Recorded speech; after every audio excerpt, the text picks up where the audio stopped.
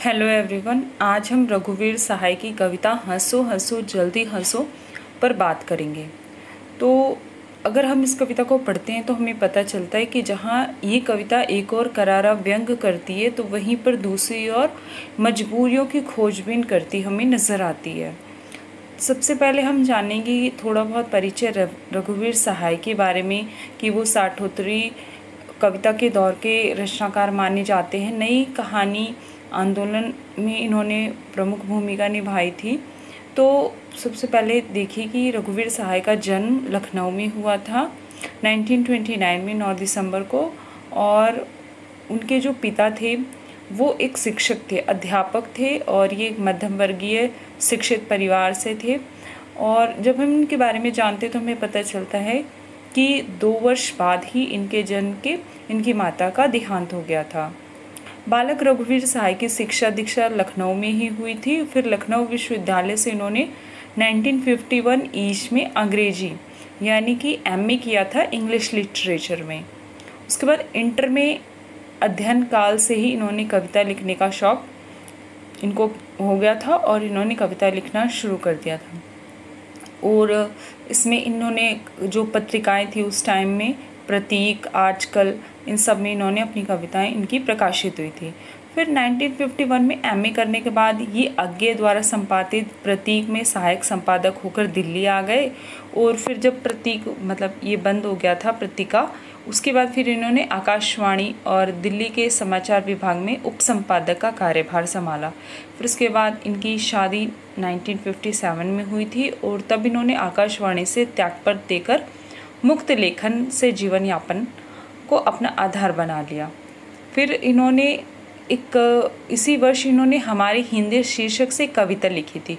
युग चेतना पत्रिका थी, उसमें ये छपी थी। इस कविता को लेकर काफ़ी बवाल मचा था और इस कविता में हिंदी को इन्होंने दुहाजू की बीवी कहा था। जिस पर अनेक टीका टिप्पणियाँ हुई, लेकिन इस विवाद के माध्यम से रघुवीर सहाय हिंदी कविता जगत में काफ़ी चर्चित हो गए। अगस्त 59 में 1959 में आकाशवाणी में तीन साल अनुबंध पर इनकी नियुक्ति हुई। फिर आकाशवाणी से मुक्त होने पर इन्होंने दैनिक नव भारत टाइम्स में विशेष संपादक, ये विशेष संवाददाता के रूप में इन्होंने काम किया। तो इस प्रकार हमें पता चलता है कि उन्होंने आकाशवाणी में भी काम किया है। नव भारत टाइम्स में भी एक लंबे टाइम तक इन्होंने संवाददाता के रूप में, उप संवाददाता के रूप में काम किया है। विशेष संवाददाता ऐसे करके इन्होंने काम किया।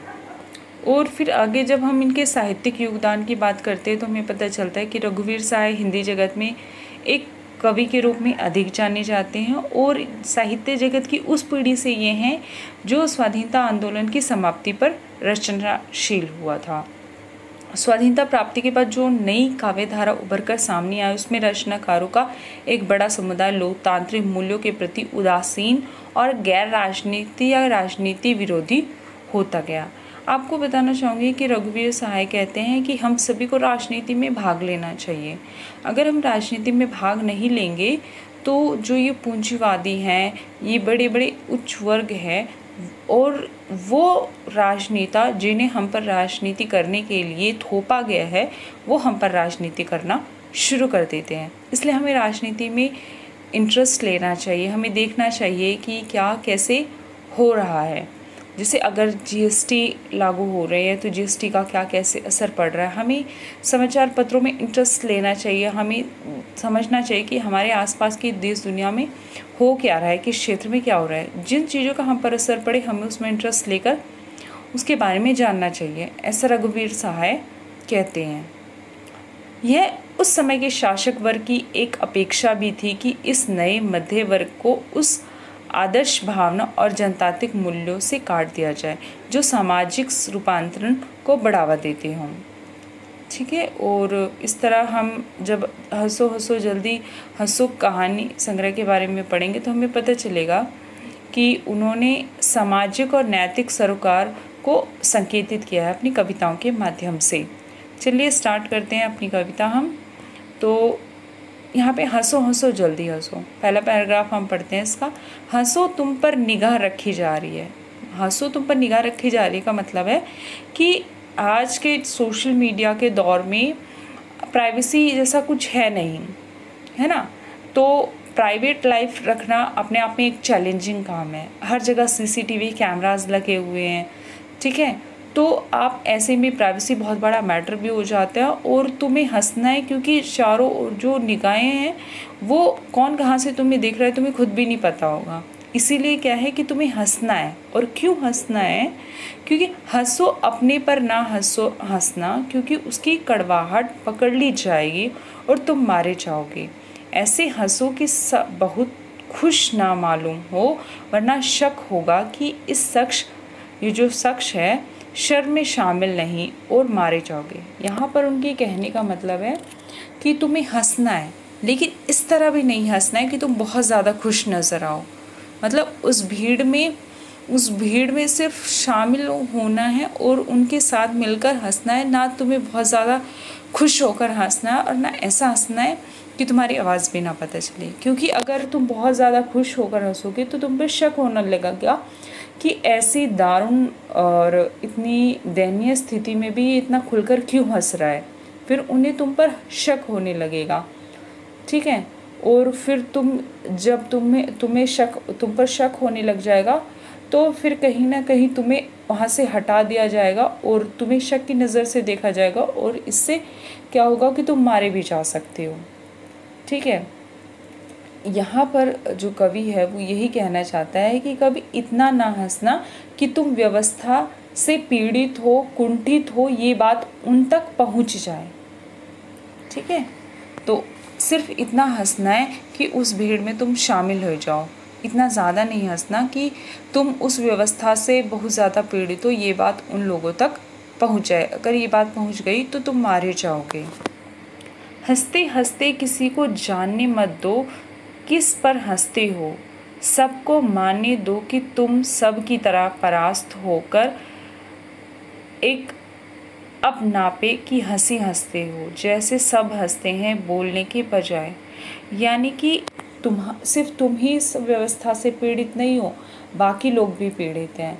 और तुम्हें उस भीड़ के साथ जैसे बाकी लोग हंस रहे हैं, वो आवाज़ नहीं उठा रहे हैं। तुम भी आवाज़ मत उठाओ, तुम भी बस सब कुछ सहते जाओ। ठीक है? किसी को ये आभास ना होने दो कि तुम बहुत ज़्यादा पीड़ित हो इस व्यवस्था से और तुम एकदम हार चुके हो, इसलिए अब तुम बहुत ज़ोर ज़ोर के हंस रहे हो। ठीक है? तो सबके साथ मिलकर तुम्हें हंसना है, ऐसी बात वो करते हैं। यहाँ पर बेसिकली उन्होंने बोला है कि जब जब आपको नहीं हंसना चाहिए, तभी आप हंस देते हो तो आपकी हँसी कितनी कुत्सित है, कितनी गलीज है, उस पर ये कविता लिखी गई है। जितनी देर ऊँचा गोल गुंबद गूंजता रहे, उतनी देर तुम बोल सकते हो अपने से। गूंज थमते थमते फिर हंसना, क्योंकि तुम चुप मिले तो प्रतिवाद के जुर्म में फंसे।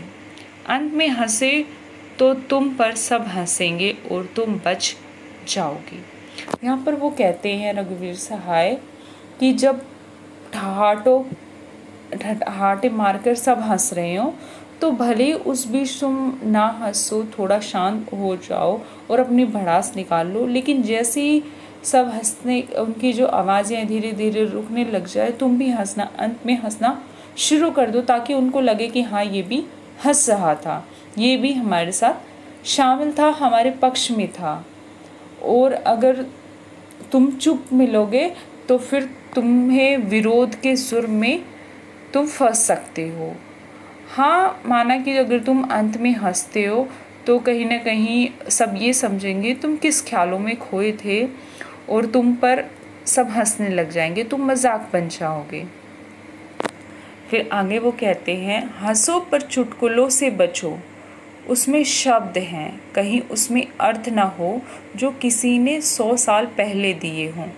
यहाँ पर वो कहते हैं कि हंसना है, लेकिन उन शब्दों से बचो जिनके अर्थ अब बिल्कुल व्यर्थ हो गए हैं। बहुत पुराने घिसे पिटे शब्द हैं, जैसे व्हाट्सअप पे पुराने जो चुटकुले हैं, या फिर न्यूज़पेपर में आने वाले जो चुटकुले हैं, उन पर मत हंसो। कहीं ना कहीं उसमें वो जो शब्द है ना, शब्दों में गहरे अर्थ छुपे हुए हैं, वो उस पर मत हंसो तुम। ठीक है? उस पर वो कहते हैं कि उन अर्थों के बीच में गहरा व्यंग है, उस पर मत हंसो जो किसी ने सौ साल पहले दिए हूँ। ठीक है? तो वो उन व्हाट्सअप वाले मैसेजेस पर व्हाट्सअप जोक्स पर न्यूज़पेपर वाले चुटकुलों पर हंसने की बात पर वो कहते हैं कि हाँ वहाँ तुम मत हंसो। फिर वो आगे कहते हैं, बेहतर है कि जब कोई बात करो तब हंसो, ताकि किसी बात का कोई मतलब ना रहे। यहाँ पर बेहतर है जब कोई बात करो तब हंसो। मतलब यहाँ पर वो ये कहना चाहते हैं, कुछ लोग ऐसे होते हैं जो या तो नासमझ होते हैं या जानबूझकर बेवकूफ़ बनते हैं। ठीक है तो उन नासमझों में भी अगर तुम अपनी बात रखना चाहते हो तो बहुत गंभीरता से मत रखो, क्योंकि वहाँ पर तुम्हारी गंभीरता वाली बात नहीं सुनी जाएगी। तो ऐसे लोगों में भी अगर अपनी बात कहना चाहते हो तो हँसते हँसते हुए कहो, ताकि तुम अपने मन की भड़ास भी निकाल सको और जो तुम कहना चाहते हो, वो भी कह सको और उन्हें पता भी ना चले। ठीक है? फिर आगे है, और ऐसे मौक़ों पर हंसो जो कि अनिवार्य हो। जैसे गरीब पर किसी ताकतवर की मार, जहाँ कोई कुछ कर नहीं सकता, उस गरीब के सिवाय।